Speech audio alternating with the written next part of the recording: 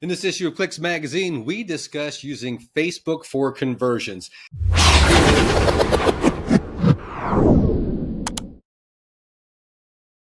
And to receive more Clicks Magazine Marketing Minute tips about four per month, take a second and subscribe to our YouTube channel. Hey, as a business owner or executive, your opinion of Facebook has probably changed over the years. I know mine has.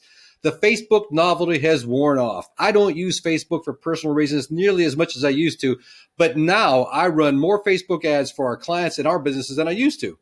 As business owners with an online presence, we all want more conversions. And whether you love or hate Facebook, the good news is it's really easy to use Facebook ads to drive traffic to your website and increase conversions.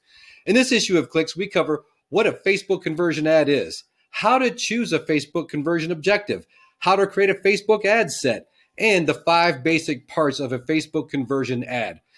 Facebook conversion ads are one of the best tools we know to increase traffic to your website and help local businesses increase sales.